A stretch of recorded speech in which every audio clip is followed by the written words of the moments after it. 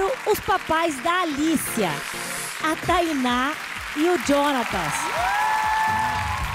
Eu sou o Jonathan, é, trabalho como técnico de carnes no frigorífico. É, meu nome é Tainá, eu tenho 23 anos, eu trabalho como um auxiliar de cuidador. E eu tô grávida de 35 semanas.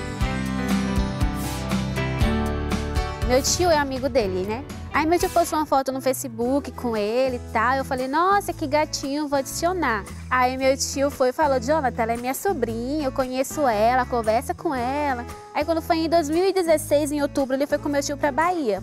E aí se conheceu pessoalmente pela primeira vez. Uma linda amizade, fui lá, conheci a família dela, a avó dela. É, passei lá em Ilhéus oito dias. Esses oito dias a gente se conheceu, conversamos e vim embora pra cá.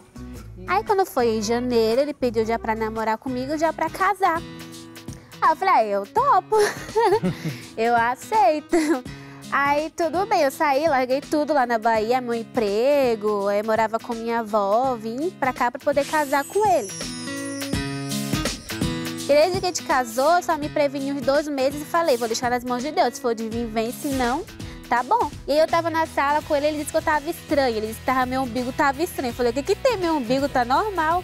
Aí quando foi, no outro dia ele levou o café pra mim na cama, e aí esse café derramou, ficou aquele cheiro enjoado, eu falei, é, tá meio estranho mesmo. Aí eu, quando chegou a noite, eu mandei ele comprar o teste. Aí ele foi, ele disse que já foi se achando o pai já. Aí tudo bem, na hora que eu coloquei o teste, lá já apareceu mais e eu lá parada, será? E ele já pulando, ligando pro pai dele e pra mãe dele. E mesmo assim eu ainda não acreditei. No outro dia eu fiz o de sangue e deu positivo. Aí foi que a ficha caiu assim. É, quando a gente descobriu o sexo, é, minha, é, eu tinha uma esperança, na verdade, que já era menina, quase uma certeza lá dentro de mim. Aí quando a gente descobriu, pra mim, é, se eu tava alegre, acho que eu fiquei dez vezes mais alegre, mil vezes mais alegre. E no dia da ultrassom eu comprei roupinha de menina. Tanto que minha colega de trabalho falou, falou, nossa, mas você não sabe o sexo ainda se for menino. Eu falei, ah, se for menino eu dou. Mas aí eu fiz e deu menina, eu já sabia que ia ser uma menina. Esse quadro é uma ajuda para nós dois, sabe? Porque nós somos casados novos também, a gente tem um futuro inteiro pela frente. E uma criança vindo agora vai ajudar muito. Meu nome é Vinícius, tenho 24 anos, sou comerciante. Meu nome é Rafaela, tenho 24 anos, eu sou educadora física. Estou de seis meses, 24 semanas hoje.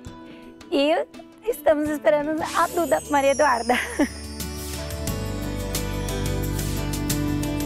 Então, a gente se conhece desde os 13, desde pequeno. Eu jogava handball, ele futebol, a gente tem um amigo em comum até hoje. E através dele a gente se conheceu.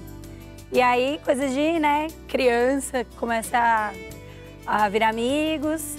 E aí a gente nunca foi perdendo contato, ele me mandava mensagem, a gente ficava sempre em contato. A gente começou a ficar depois de um tempo. Até que a gente começou a namorar, pedi ali namoro. E aí quando deu um ano eu pedi ali noivado, é, mas não casamos ainda, só foi morar juntos. E depois de praticamente um ano morando literalmente juntos, assim, fora de casa, só a nossa casa, aí a gente ficou grávidos.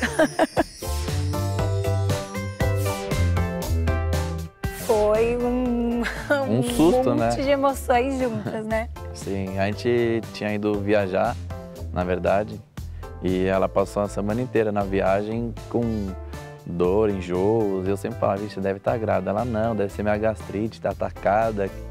É, eu falei, meu, vamos, quando eu voltar para São Paulo, vamos fazer o teste, né? Aí quando a gente voltou, é, era dois dias antes do aniversário dela ainda.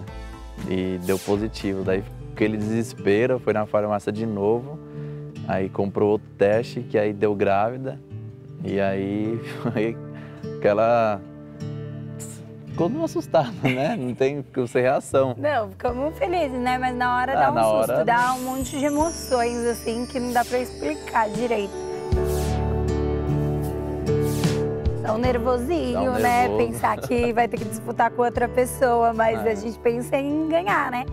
Porque tudo que a gente ganhar vai ser para ela. Então a gente vai fazer o possível e impossível para tentar ganhar o máximo de provas para ganhar o máximo de coisas, porque tudo que vier é muito bem-vindo e vai ajudar muito.